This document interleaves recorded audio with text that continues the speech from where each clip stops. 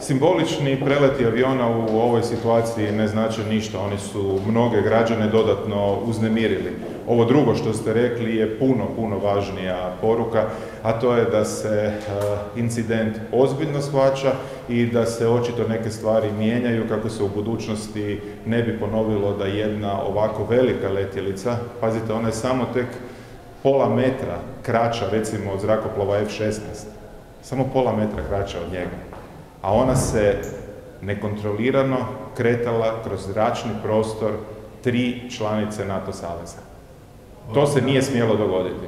I u budućnosti se ne smije događati. Točka. na namjere onoga koji je tu letjelicu lansirao i je li bila bomba ili ne, trebali to shvatiti ipak kao upozorenje. Upravo kao što sam rekao. To se na ovaj način nije smjelo dogoditi. NATO savez i Hrvatska kao članica NATO saveza mora na ovakve situacije drugačije reagirati. Bez obzira na to da li se radilo o nečemu što je zalutalo ili nečemu što je bilo namjerno ispaljeno u smjeru Zagreba, samo je puka sreća spriječila da taj dron padne na neki naseljeni objekt i izazove ljudske žrtve. A naša sigurnost ne smije počivati na sreći. To je najvažnija poruka ovoga.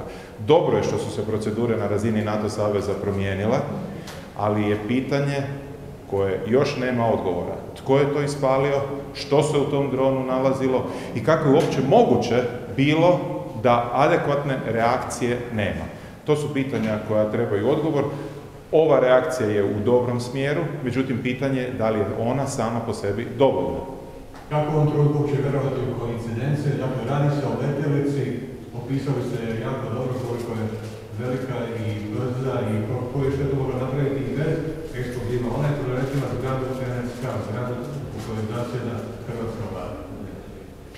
Neki su opisali tu letjelicu kako bi naši građani mogli shvatiti njene dimenzije kao jedan autobus koji se kretao zrakom i nije to daleko od e, istine. Dakle, to je kao da je jedan autobus pao usred Zagreba.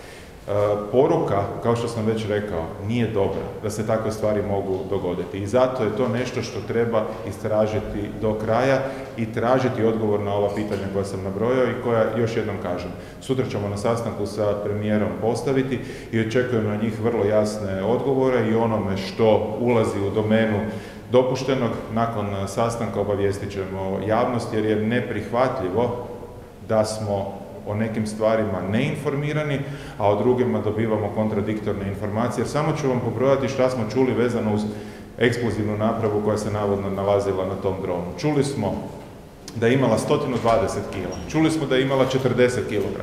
Čuli smo, citiram, da se radilo o nekakvoj vrsti eksplozivne naprave do toga što je rekao glavni e, tajnik NATO saveza da letjelica nije bila naoružana. Dakle, četiri kontradiktorne informacije o nečemu što je palo u središte Zagreba, gotovo u središte Zagreba, a u subotu su se oko toga naslikavali predstavnici državnog vrha. Dakle, na jednom mjestu bio je predsjednik vlade, potpredsjednik vlade, ministar obrane, a onda nakon toga saznamo da su stajali na 2-3 metra, možda čak i od bombe teške 120 kg. To je potpuno pogrešno.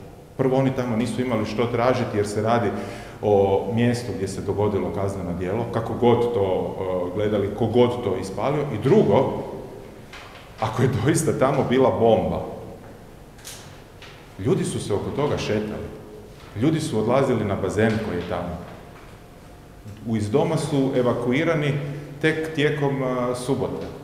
Mislim, poruka i način na koji se pristupilo ovoj ugrozi nije dobar i pokazuje kako hrvatski državni vrh, oni koji danas upravljaju Republikom Hrvatskom, vlada na ovakvu situaciju nije bila spremna.